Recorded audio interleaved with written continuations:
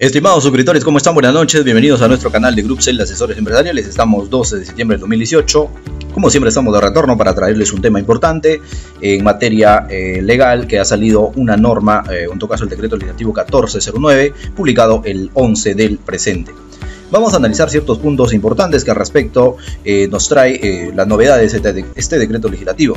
Como ya sabemos, el Poder Legislativo ha dictado facultades al Poder Ejecutivo para legislar en materia de gestión económica y competitividad.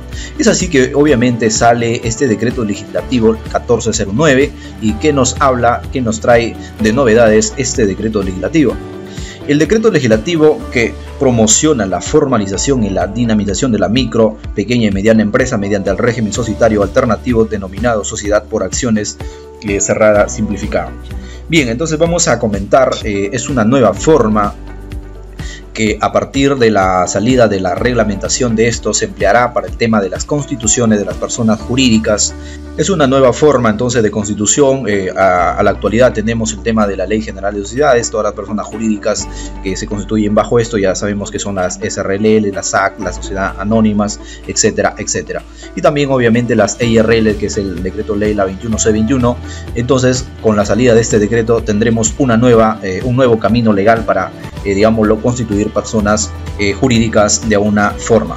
Nos trae algo de novedad este decreto legislativo, por ejemplo, como el tema de la denominación, el tema de las siglas, y también el tema de la CIT, SUNAR, la UIF.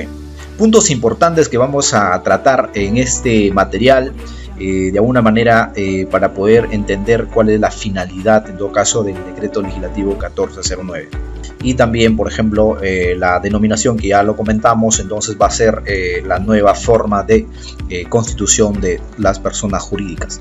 El artículo 6 naturalmente nos habla al tema del contenido del documento o del acto constitutivo obviamente tiene nueve requisitos con los cuales debe, digámoslo, constituirse las personas jurídicas, que en alguna de ellas lo encontramos dentro de la Ley General de Sociedades. No lo vamos a comentar ello.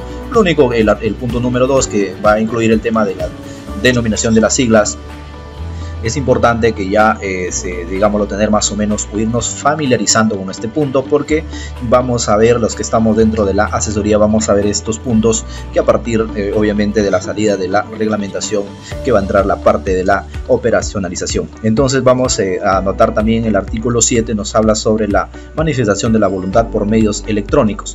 Este es el punto que es nuevo en el acto de constitutivo de las, digámoslo, personas jurídicas. El documento privado que contiene el acto constitutivo de constitución de una SACS se genera mediante el uso de SID SUNAR, suscribiendo dicho acto por medio de la firma digital de los accionistas fundadores conforme a la ley de la materia y el Código Civil. Importante en punto entonces, la nueva forma de constitución de otra, en resumen, va a ser de forma electrónica.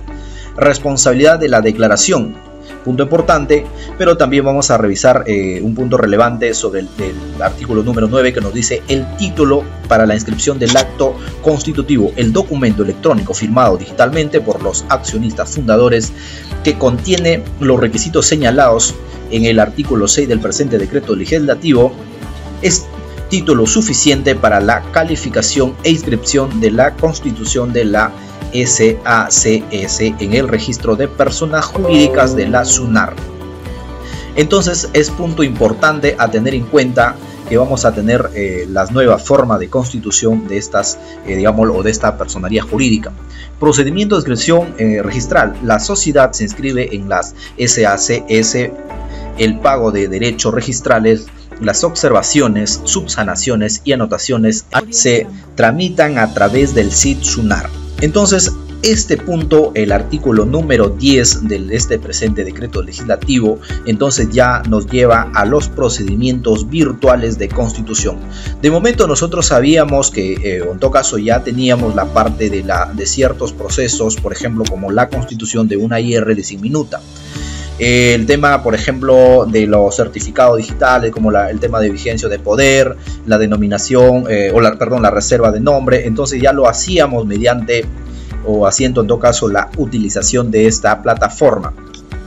Con la salida de este decreto legislativo y obviamente con la reglamentación, lo que tiene que hacer es SUNAR eh, implementar la plataforma para poder hacer estos tipos de procesos virtuales. Por ejemplo, eh, teníamos el tema, como le comentaba, solicitud de trámite de inscripción eh, de empresas que se hacía con el tema de las constituciones sin minuta. Por ejemplo, teníamos el tema de la reserva de la denominación de la empresa. También lo hacíamos virtualmente utilizando obviamente nuestras tarjetas de débitos o crédito.